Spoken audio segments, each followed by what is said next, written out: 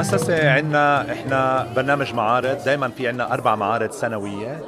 آه، العمل بالأرشيف آه، هو عمل اشتغلنا فيه من زمان واشتغلت عدة مؤسسات كمان آه، فنية ثقافية في الأرشيفات. إحنا مهتمين بإنه نتعاون مع مؤسسات زي الفنون ومؤسسات تانية أخرى لا كمان لا خلينا نغض نقيم الغبرة عن الأرشيفات الموجودة ونحاول نفهم مجتمعنا وتاريخنا وماضينا من خلال هاي الأرشيفات. المميز بهذا المعرض أنه أول شيء هذا أول مرة يفتح للجمهور. فهو أول مرة الأرشيف الفنون عماله من أغراضه من آه، صور ومن أغراض مختلفة عماله يفتتح للجمهور العام.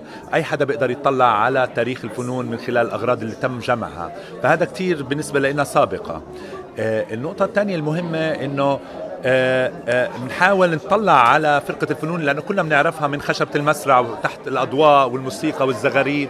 هلأ بنشوف فرقة الفنون من خلال العمليات اللي بتأدي لصناعة الأعمال الأدائية هاي اللي بتكون على المسرح من وثائق ومن صور فوتوغرافية ومن فيديوهات لما كانوا يناقشوا مع بعض أفكار الأفكار المختلفة للرقص ومن الأزياء المختلفة اللي تم صناعتها إلى آخره. كل زائر رح يقدر يلاقي آه، آه، جانب من تجربته مع فرقة الفنون بمحل إذا هو من الجمهور أو إذا هو عضو بفرقة الفنون رح يلاقي كمان جزء من تجربته موجود.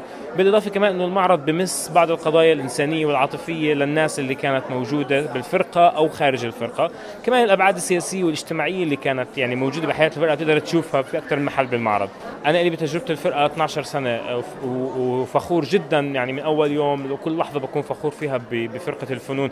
مش بس بهذا المعرض أنا فخور بأي إنتاج بتعمله فرقة الفنون لأنه هو إنتاج نابع يعني إنتاج بصري إنتاج رقصي إنتاج موسيقى لأنه هو نابع من تجربة مجموعة الأشخاص بثقافتهم بوعيهم بأبعادهم الاجتماعية والاقتصادية. اللي بتخلي العمل الفني مش بس منتج فني بالآخر بتخليه قيمة إنسانية وجزء من الذاكرة.